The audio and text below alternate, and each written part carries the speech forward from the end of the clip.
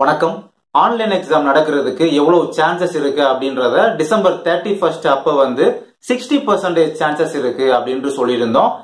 தென் John five அப்போ வந்து அது இன்னும் டுவெண்ட்டி பர்சன்டேஜ் ரிடியூஸ் ஆகி ஃபார்ட்டி பர்சன்டேஜா டிகிரீஸ் ஆயிருந்துச்சு அப்படின்னு சொல்லியிருந்தோம். ஜான் எயிட் அப்போ பாத்தீங்கன்னா இன்னும் டுவெண்ட்டி பர்சன்டேஜ் ரிடியூஸ் ஆகி இப்போதைக்கு டுவெண்ட்டி பர்சன்டேஜ் சான்சஸ் இருக்கு. ஆன்லைன் எக்ஸாம் கண்டக்ட் பண்றதுக்கு அப்படின்னு சொல்லியிருந்தோம்.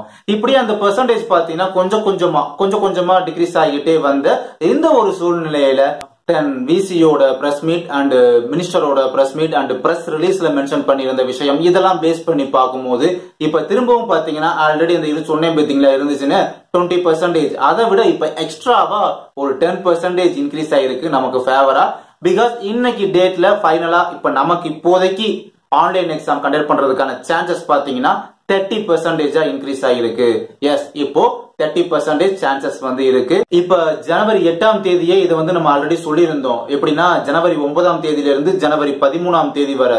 இந்த அஞ்சு நாட்கள் வந்து ரொம்ப இம்பார்ட்டன்ட் சோ இந்த ஒரு ஃபைவ் டேஸுக்குள்ளதான் நம்ம அந்த சான்சஸுக்கான பெர்சன்டேஜ் வந்து இன்க்ரீஸ் ஆக போகுதா இல்ல டிக்ரீஸ் ஆக போகுதான்னு சொல்லி ரெண்டு சேனல்ல ஏதோ ஒரு சேனல்ல வந்து நான் பேசியிருந்தேன். அது இப்ப நடந்திருக்கு.